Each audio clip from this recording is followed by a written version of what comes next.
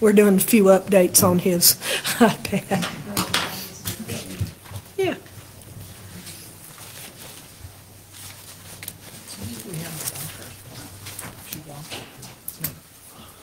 No, very close. I was gonna. Very, very close.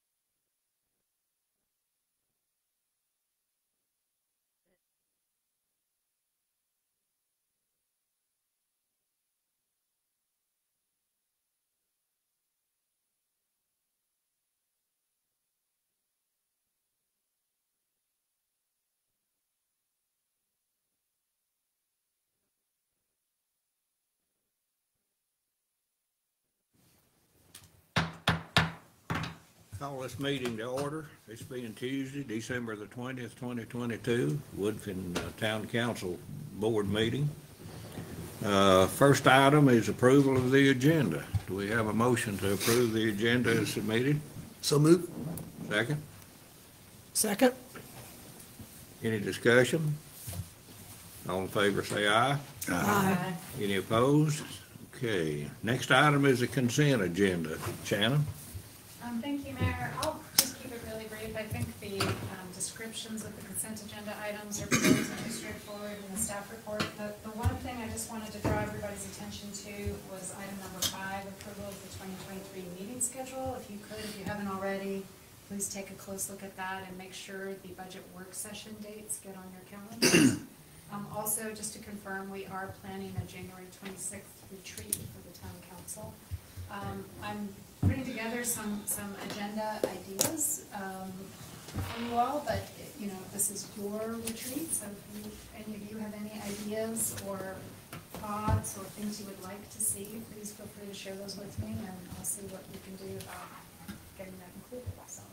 And I, I think it's planning for a one-day, you know, maybe a nine to three or four o'clock kind of thing, something like that, lunch included, so. What we have in mind. Where? I think here. Okay. We don't have to do it here, but if, again, if you all have any ideas you'd like to hold it someplace else, you can certainly try that. Okay, any further comments? Have a motion on the consent agenda? So moved. Second? Second? Any discussion?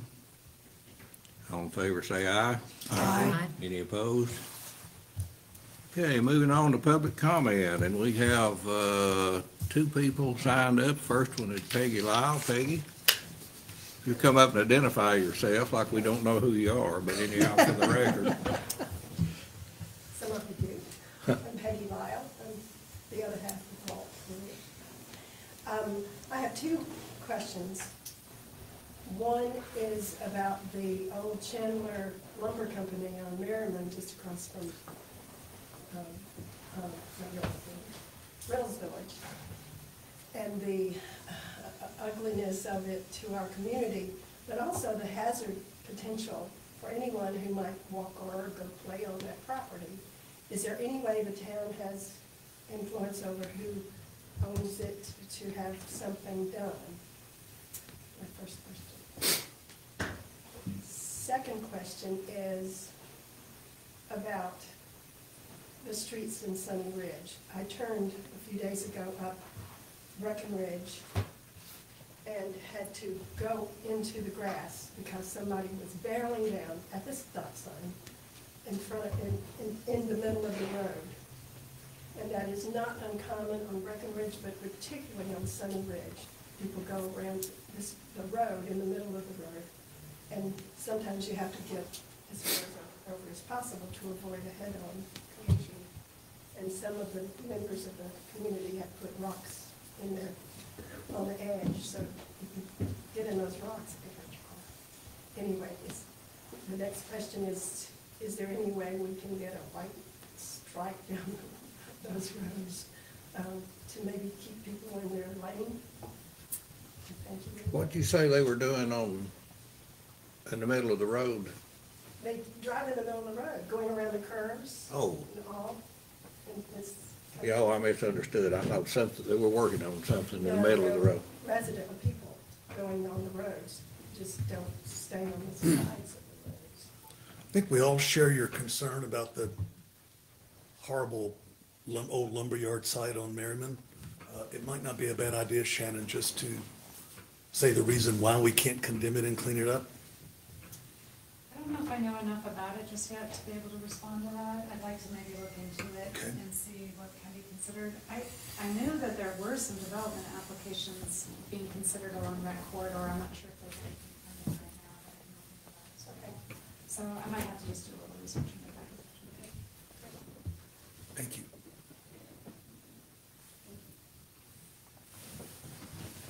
Okay, the next person, and I can't read this, but they live at thirty-three Summit. Oh, it's not, I signed up on the wrong one. Hi, Dave. Hey, Okay, so you don't wanna, no, I don't like comment on it. okay. Any other public comment from anybody? Okay, hearing none, we'll move on to presentation and reports. First one is a guest presentation by Dr. Rob Jackson, Buncombe County School Superintendent. Glad to have you on board and, uh, come up and make yourself at home.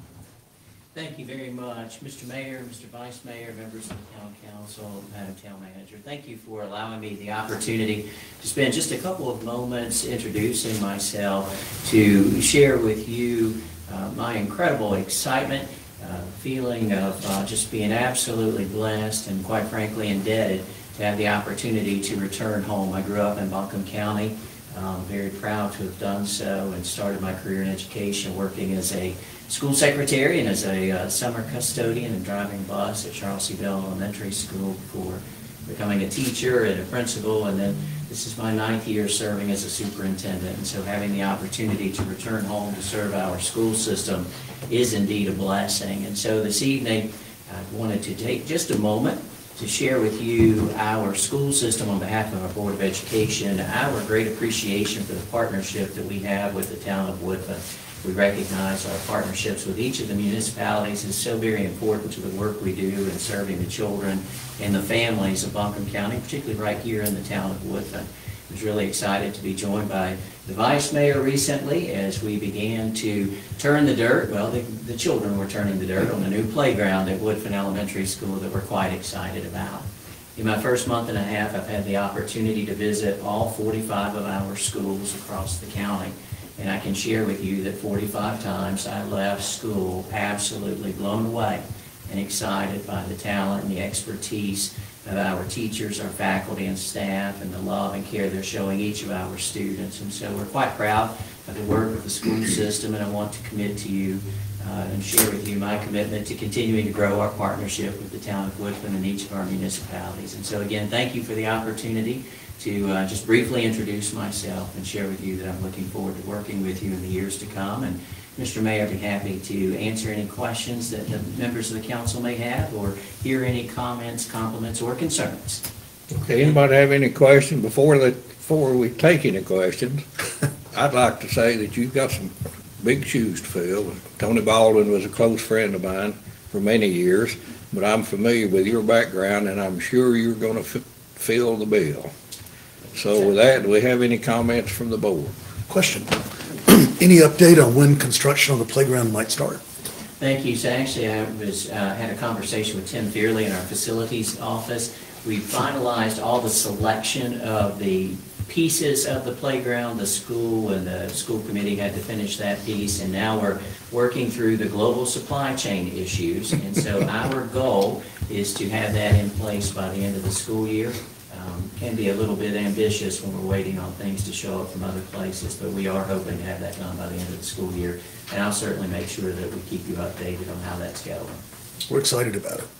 It, it's incredibly exciting, and I'm excited about it being an opportunity for members of the community to be on the campus of the school in the evenings and on the weekends as well. Our schools should be the front porch of every community, and that's, that's when we're at our best, when we recognize that partnership. And so we look forward to the walking track that'll be a part of that playground and the playground equipment, and uh, see that as adding value to the town of Woodfin. And so we, we do appreciate that partnership. And Mr. Mayor, if I may, I'll tell you, Tony Baldwin's one of my great heroes. Uh, Many of us didn't think he would ever retire. You know, he was superintendent for 14 years. I was serving on the coast in Atlantic Beach, and he gave me a call and uh, said, told me he was retiring and suggested I might consider applying. And that's a phone call that just, that's a career-making phone call. When somebody you admire that much gives you a phone call like that. I, I love Tony Baldwin.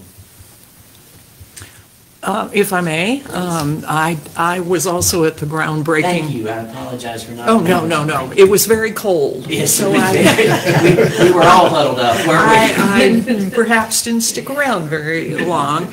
Um, uh, Jim and I both are in a neighborhood, as well as others, that um, have supported the school for a number of years.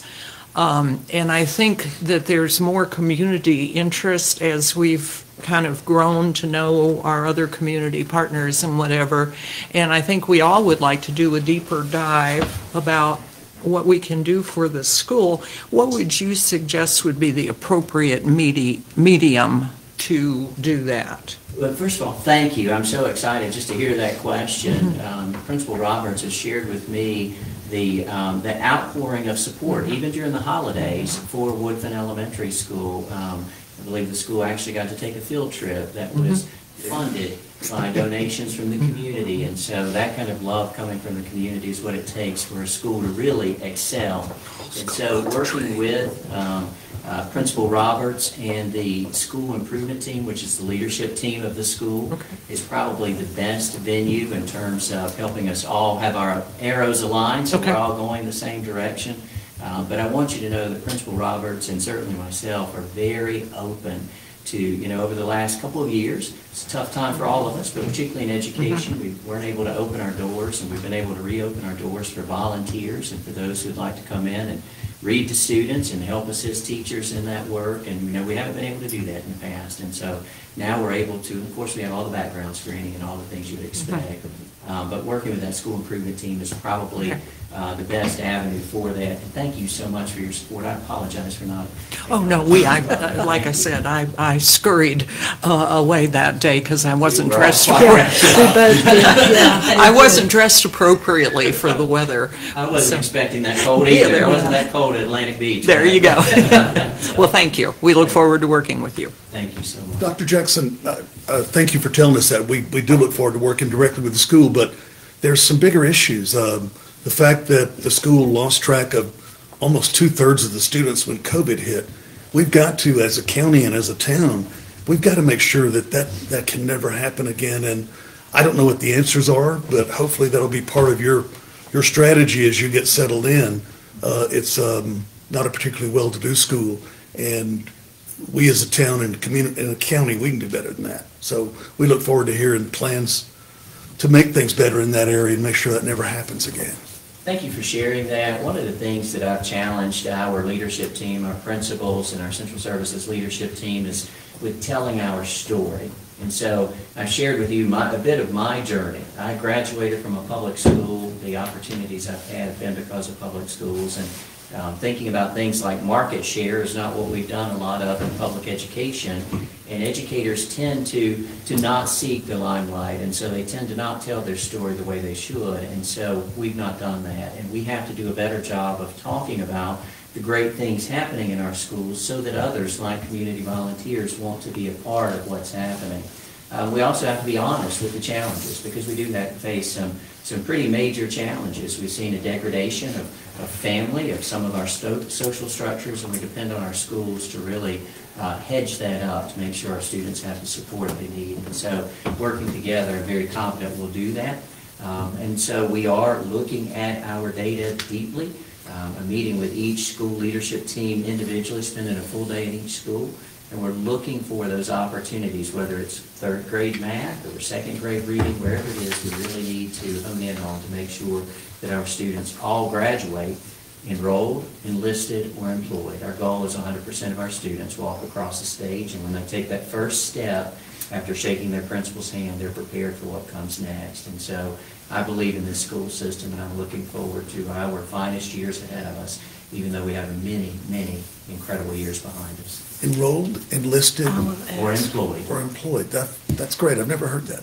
Absolutely. Well, we, we recognize, and, and I apologize for being a little long-winded, I, I can get excited when we start talking about the education of young people. And I know you've got an agenda, and you were talking about it being a short agenda, so I'm not going to ruin that for you. Um, But in education, for a while, we thought every child needed to go to, to college. Well, that's not so. There's great success to be had for somebody working with their hands and getting, graduating from high school, going into a great job where they can support themselves and their families. And so that employed piece of that, that three pathway, enrolled, enlisted, employed, is just as important as the other two. And so recognizing that helps us do a better job of meeting the needs of each of our children individually. I would ask about the volunteer program here at Woodfin because it has not started this year. And we're already halfway through the year, and that's been a concern for me. And I gather from my information is that it's just overwhelming for the leadership team that's there now, and then trying to add this to it. I know some of the folks who have volunteered have never heard back. Um, What kind of steps can they take? I mean, they really want to offer time and expertise, but are not getting calls back. Absolutely. So first of all, thank you for sharing that feedback with me so that I can follow up with Principal Roberts as soon as we return from our winter holidays. We're currently on our winter holiday break. Um, we do know, as you know, there was a change in leadership in the school this year. Um, I'm excited about, not speaking to what happened before, I just got here in November. Um, Right. But I, I'm excited about where we are now. Um, as you know, from the pandemic, we really had to close down schools and not allow folks inside. And so restarting school and restarting all of our um, kind of infrastructure around that has taken some time. And that includes restarting volunteer background checks and making sure that our budget can withstand the onslaught of all of those who might have started to volunteer in the last two years who weren't able to, who all have now said, yes, I want to volunteer. And so that really has been a big push financially to get those through and for the uh, companies that do that. But we're at the point we've really caught up, and so those roadblocks should be out of the way. And so I'd certainly encourage anyone who's interested to reach back out to the school, but I'm also going to reach out to Principal Roberts and make Okay. sure that if there's Great. something we can do from the district to help the school, that we're doing that as well, because it does take all of us. It does. Thank you for that Sure. feedback, I appreciate it. Hey, anything else? What a delight, and thank you again for the You invitation. come back anytime you want. Absolutely. Always Thank you. welcome Absolutely. here. Thank you so much. Yes, sir. I- I'll slip out and get out of your way. Thank you. Thanks for coming. Thank you so much. Okay, next item, town manager report, Shannon. Thank you, Mayor. Um, I will also try to keep this fairly brief, but there are a few things I wanted to share with the council that have evolved over the last month. Um, So we always begin with just reviewing some of the contracts or purchase orders that have come through since we last met. Um, We have moved forward with a contract with Granicus, which is a software company. They were formerly known as Host Compliance. Um, They work to monitor short-term rental activity they have proprietary software that they use, so we've worked out, um, what I think is a very, uh, fair price, um, for, for that. So, um, it does take them, I'm trying to remember, I think sixty or ninety day lead time to kind of build, um, their database. So we're waiting, we signed the contract, they started that work, so it's not, um, launched yet, but I'll be sure to let you all know when it is. Um, and then, as this board is aware, uh, we did approve the contract for ABCCM for the emergency aid. Um, that was part of our community grant program discussion. I put an asterisk next to the twenty-five thousand. We actually committed fifty thousand, but just given that we signed the contract at this point halfway through the fiscal year, we just kind of cut that amount in half to, and we're gonna just sort of evaluate, we've discussed this with the ABCCM, they were perfectly comfortable with it. And we're just gonna kind of see where we are at the end of the next fiscal year, and then hopefully we'll have more information, kind of know what to budget moving forward in the next fiscal year. And then the Anchor QEA contract has not been signed, it's not approved. Um, that is later on your agenda, but it has come in this month, and so I just wanted to include that on this slide. Um, Moving on to planning and stormwater, our town comprehensive plan is at the point where we are getting ready to do our kickoff meeting, which is now scheduled for the third week in January, um, the seventeenth through the nineteenth. Um, this will include a meeting with, uh, the first meeting with our new, uh, consultants, um, Quantum. And they are gonna meet with our steering committee, they're gonna meet with council members, we're gonna be sending out, uh, an agenda for you all. Because these, this kickoff period actually co- coincides and overlaps your January council meeting, they're actually gonna do a presentation at council as well, so you're gonna get to see them on that agenda. Uh, and then our Board of Adjustment, just to give you a little information, we are planning some special meetings. At the last Board of Adjustment meeting, we sat down with the members to discuss sort of organizationally what to expect. We have six appeals pending for the board, and we're trying to kind of map out a schedule where these can um, kind of get out of that limbo state that they've been in for quite a long time now. So we hope to tackle the first set of appeals, uh, January twenty-fifth, twenty-sixth, twenty-seventh, and then that second set of appeals at the end of January, early February. Um, Still working with, uh, these dates were coordinated with the, um, the attorneys on both sides of the appeals as well as town staff, so, um, that's what was so helpful about sitting down with our board members to be able to actually pull out calendars and make sure this worked for everybody, so. Sh- Shannon, is, is that board full? It is. Okay. Yep, um, based on your consent agenda, um, that included some, a reappointment to the board, and then we did have one resignation. Um, Suzanne uh, Carver had been serving as our chair, has resigned, and so we moved our, a, a really wonderful alternate. He's, um, Chris Derone, he's been attending every single meeting, he's been really engaged. He's attended all of the trainings, and so he, we were able to move him right in, so we do have a full quorum. Um, planning, and then continuing on planning and stormwater, our stormwater assessment and prioritization, I mentioned we did receive the contract, I'm gonna go into a little bit more detail that, in that, uh, regarding that here shortly. Um, it, once that contract is approved, field work will occur during these sort of winter, spring months, January, uh, to April. The town hall, town center feasibility, RFQ has been posted, went out this week. Um, it's right before the holidays, I didn't want to make these prospective consultants angry at us right out of the gate, so I gave them a pretty extended deadline, so they have until February tenth to respond. Um, and so we're looking forward to seeing those, uh, responses. Also, our building demolition debris removal RFP has been posted, and that deadline is February thirteenth. Sanitation, so it's very early days with our new program, um, but we, if we compare data from November of this year to November first year, and November of this year is the first, this is the first full month where we've had our full-size trash and recycling containers distributed to the residents. So we were really curious, we went back and looked at, um, November's data, and it looks like from the previous year, and it looks like we're saving about a thousand dollars a month in landfill tipping fees. And that is, we expect is because of the increased recycling.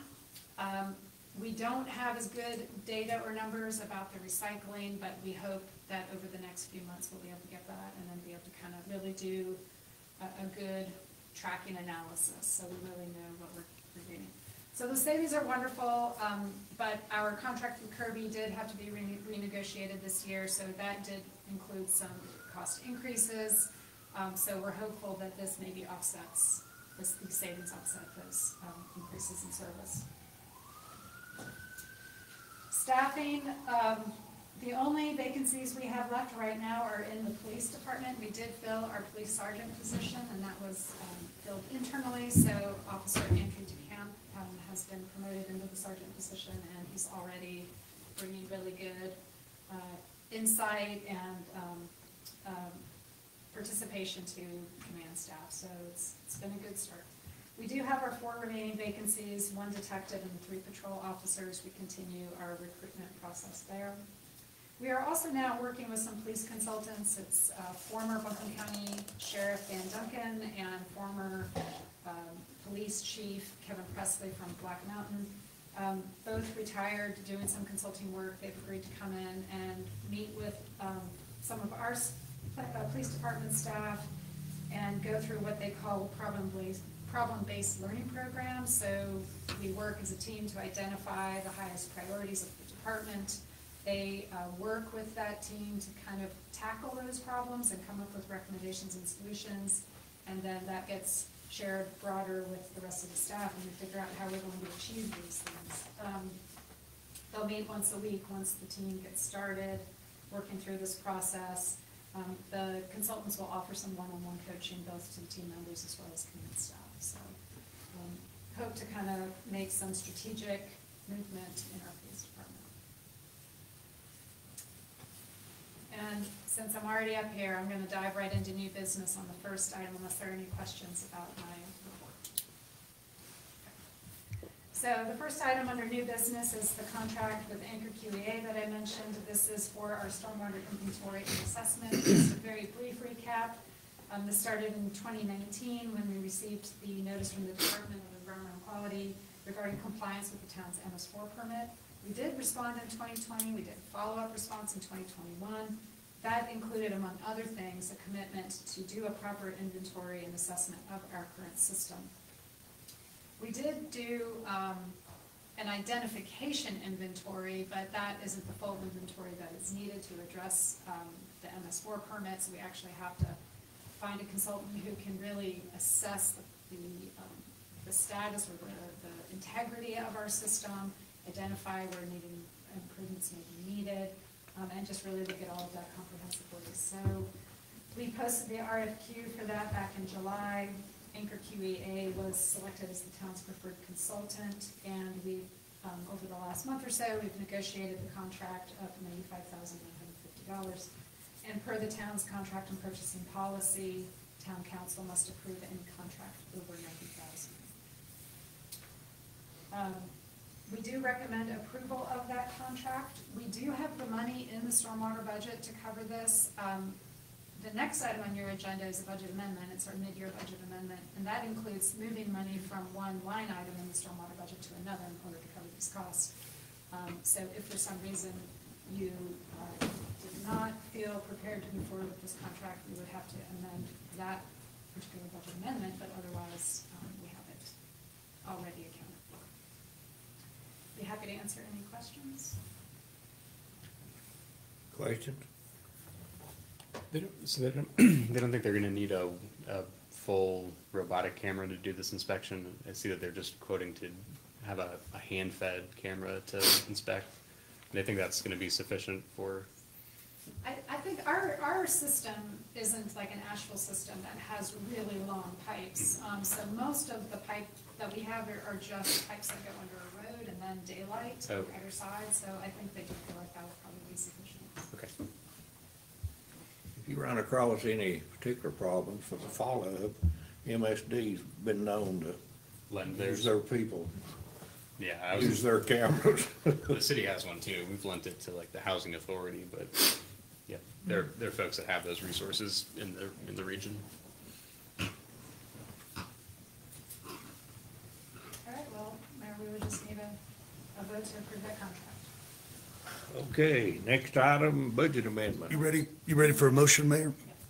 We gotta vote on the, a motion on this. Oh, this? okay. I, I will if that's okay. Yeah, go ahead. I recommend approval of the proposed contract for professional services with Anchor QEA in the amount of ninety-five thousand nine hundred fifty dollars for work included in the scope of services proposed. Okay, you've heard the motion. Do I have a second? Second. Motion and a second. Any discussion? All in favor, say aye. Aye. Any opposed? Okay, the motion carries. You're trying to get us out of here. Next item, budget. Good evening. Um, Shannon did a great introduction to the mid-year budget amendment. The, um, larger items on the budget amendment in your packet are the Anchor QEA contract and then the community grant, um, offerings that you all approved at our last board meeting. With any mid-year amendment, we look at the budget first to see if there are savings in other areas that we can reduce and not increase the overall budget level. So you'll see some reductions in that decrease column to try and offset those additional costs. And, uh, then secondly, we look at revenue items that we know will achieve more than the originally budget amount and use those items to fund any increases before finally getting fund balance if we have to. And in this case, we didn't have to do that. So, um, if there are any questions about the budget amendment, Hey, we What, to- the community grant program, what all does that is, uh, Um, sister? Yeah, so at the last meeting, you approved six thousand dollars to Catholic Charities, um, fifty overall to ABCCM, although we're only appropriating twenty-five thousand this year, and the remaining part of that contract will be from the next fiscal year. Um, we did fifty thousand to ABCLT, the housing group, and twenty-five hundred to River League. What, what, and we approved that housing group? Yes, sir. Um, we are, we are. I missed that. We've let them know that they've been approved for the award. They are looking to leverage our funding with Buncombe County so that they can mostly fund a residence in Woodfin, and we'll be drafting a contract based on that. We won't actually write a check. until- And it has to stay here, correct? Yes, Yeah, sir. okay. It, um, we, we won't write any money until they're ready to close on the property in, in Woodfin. and, I um, missed that somehow. I must have been drinking coffee. Any other questions? I have a question. Object number nine-ten is Woodfin Golden Age Club. And maybe I'm misremembering, but I thought that they did not reapply. Yeah, that's a decrease, so we were. Oh, we a had originally decrease. I see it. that It's amount. right there. Okay. Thank you. Any other questions or comments? Have a motion for the budget amendment? I'll make the motion. Second? Uh, second? Any discussion? All in favor, say aye. Aye. Any opposed? Okay. You very much. Mr. Mayor, need to meet with the council until six oh five P M.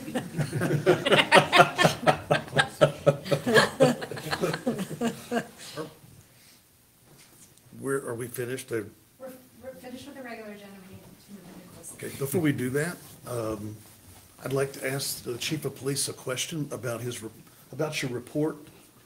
For, uh, the November monthly report, it looks like citations, traffic citations are down dramatically over last, same time last year. Okay, Is that true? probably, if that's what the numbers, I don't have the numbers in front of me. Uh, It says twenty year to date. I don't guess you're gonna tell me all twenty of those are on Riverside Drive, are you? Probably not. Probably a few, but not, not all of them, no. Chief, we've, we've talked about this repeatedly, and, um, quite frankly, I'm, I'm running out of patience. We have to do something.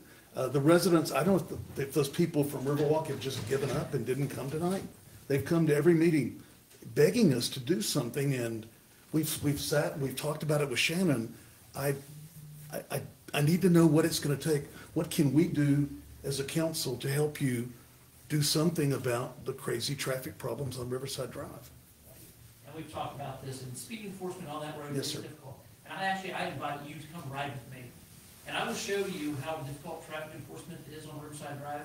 but we are making a presence in the area, areas where we have speed complaints, we're trying to get there and make that happen. Um, but that's just one of those locations, it's hard to do speed enforcement. I understand, and So, I'll, we- We are there making a presence, but that doesn't mean that there are gonna be more citations. I spent three Saturdays ago, several hours driving up and down and making notes and measuring. There are, and I look forward to riding with you. If you'll shoot me some dates, Okay. I'll take you up on that, but, and, and maybe I just don't understand what it takes to pull somebody over, but, um, we have to do something, and, um, so I look forward to working with you on that. That's it. We, we, we, we know it's an area of concern, and we are committed to, to making, you know, that area safer, without a doubt. That's always our goal, is to make the roadways safer. Uh, but again, that doesn't always necessarily mean more traffic citations. Um, and with a roadway such as Riverside Drive, where it's curvy and narrow and no shoulders, traffic enforcement, you know, speed enforcement especially, is difficult to, to perform down there. But I, I, you know, I'll show you what we, we do have available, I'll show you where officers have been, um, and, you know, we, we'll pull up some, some numbers and, and try to see what we can do to improve that. Uh, but, know, there's, again, only so many of our officers right now who are certified in radar and have the equipment available to them. Um, you know, and then also call volumes that takes away from their ability to do that. We, we definitely wanna make that a priority, and we have made it a priority, it's again, just not always gonna show citations. Okay, and I remember the last, when we met with Shannon, you said that you have an adequate number who are trained in doing radar, that that was not, that would not be an issue. We're working on getting Working this. on We said, well, not all of them are trained. We're working on, that's one of the things that we need to have. It's, you know, but also answering calls for service or having folks out, things like that. So we're, It's a- we're getting there. And I appreciate that and I look forward to working with you. What I don't want to do is end up here sometime this winter after a horrific crash and one of Eric's neighbors being involved in kids. And it's going to happen sooner or later. So uh, shoot me some dates. I look forward to riding with you and learning, learning more about it. Thank you. Those lines, I, I'll just go ahead and share, it's a little, we haven't yet submitted the grant application, but the town has identified a grant opportunity, uh, for a feasibility study for certain pedestrian improvements along Riverside Drive. Um, I think the deadline is in January, early January, so we're working with Land and Sky on, on making that application. So we're optimistic that we might get some grant funding for that study. Um, and then that would allow us to really study that corridor and look at those physical constraints and figure out what kind of improvements might be realistic. Um, and then we can look at how to design and fund that. Well, I've spoken with our local legislators and they've assured us that if it, if they need help, we'll, I'll tell them, I'll, Caleb, I'll physically come to Raleigh. We'll meet with the DOT people, but, it- you know, we're just not gonna, it's hard, can't be the obstacle. So that's great news that we may be able to get some grant money. I think that's fantastic. I think a feasibility study will be very informative, like it'll really help us understand what our options are. Um, we also have just this week submitted a grant application for a greenway connection, potential feasibility study for a greenway connection between the northern end of our planned Woodfin Greenway and the southern end of Weaverville and Springs Creek Greenway. So, um, and this is in cooperation with, uh, the town of Weaverville, so we're kind of trying to collaborate on that together. It's great. Thank you. Jim, maybe follow up some. I've, I've noticed my road's always been real dangerous. Uh, it's a cut through from Riverside Drive to Merrimon Avenue. We've had several accidents over the years down there, but I've noticed since the big diet on Merrimon Avenue that apparently a lot more people is using our roads, Jonestown, Burnsville Hill, Yeah, um, Elk Mountain. Uh, and I'm afraid that traffic's just gonna get worse, uh, unfortunately. you're right. I'm not, I, I wonder, and I know Woodfin does a great job. Um, Chief, are they, it's being state roads, can we ask the highway patrol to help, or they won't, or? We can always ask the highway patrol to help. It's Not their that they will. responsibility For all the roadways Yeah. in all of the state, uh, or all the state maintained roadways in all the state. Um, I mean, I just, But, you know, they're, they're. Busy like uh, y'all. Responsibility usually ends up in the unincorporated areas, uh, where they're busy working crashes and trying to do speed enforcement. Um, You know, I'd love to have seen a trooper today when a guy passed me on twenty-six, uh, outside of the jurisdiction, running ninety miles an hour plus. But, you know, they're just like us, they're not always where you would like them to be at the time you need them to be. yeah, I understand. Thank you. Okay, anything else come before the board? Well, I hope everybody has a happy holiday season, You too. and uh, Merry Christmas. with that, do we have a motion that we, we, do we have to have a closed session? Yeah, I think it'll be really brief. Okay. Have a motion to close this meeting and go into closed session. So moved. Second, Second, second. any discussion? All in favor, say aye. Aye. Any opposed? Okay. It has to be, a- it has to be a record, a record. Wow.